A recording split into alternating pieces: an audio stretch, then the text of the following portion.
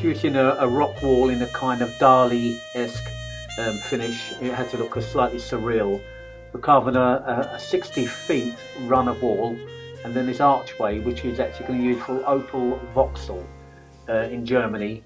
Um, it should look fantastic when it's done. Uh, again we carved it from polystyrene, um, creating this great big archway and on the edge there's going to be a tree and uh, on the ledge there's going to be some kind of goat with a giant um, a giant Ferris wheel behind the whole set with the car coming through the middle upper ramp.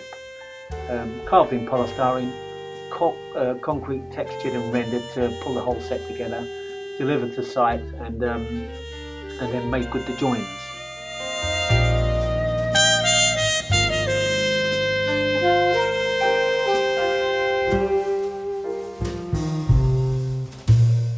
To have a good team of people that helping to work on it we're using these great big billets of polystyrene that we use to block out from. Let everyone really gel together. I have mostly freelance people in to give me a hand if the, if the project is particularly large or particularly fast.